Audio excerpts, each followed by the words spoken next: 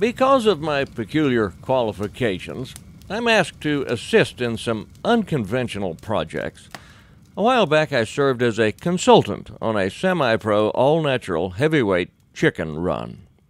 My friend Sam raises chickens.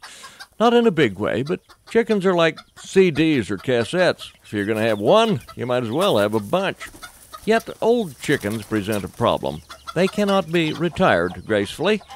Oh, you might turn an old faithful horse out to pasture, stuff your best bird dog, but a chicken, even in her twilight years, engenders very little loyalty or respect. Sam had a surplus of blue haired layers that had lost their bloom.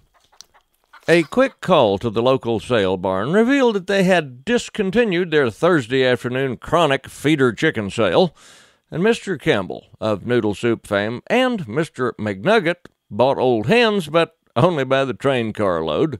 Well, by a fortuitous conversation with a neighbor, Sam discovered that first generation immigrants from Vietnam and other Southeast Asian countries prized the meat of mature chickens.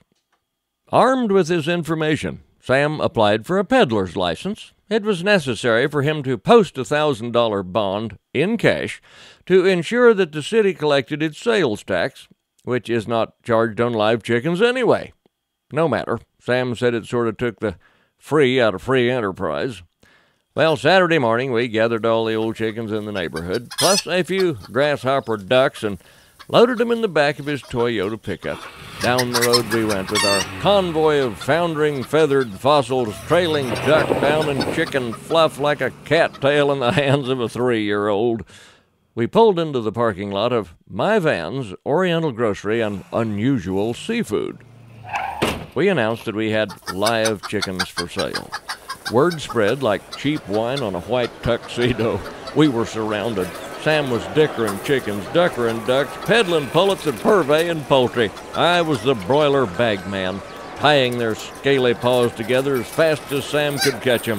One nice gentleman asked if we had any merganser ducks. I told him all we had was what we could catch at City Park. He laughed and then asked about my dog. I changed the subject. An attractive mother of three asked through her six year old son, How much for these five chickens? Well, Sam was naturally sympathetic for the young woman trying to raise her family in a foreign land. He proffered seven dollars for all five. She countered with six and a tear. Sam settled for five. Could we help her load them? she asked.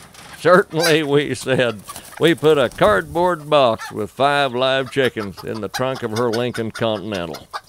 We sold 38 chickens, two roosters, six ducks, grossed $83, and learned to say live chicken in Vietnamese, Hmong, Cambodian, and Laotian. Had a great time and fostered goodwill between two very different cultures. And that's not bad for a day's walk.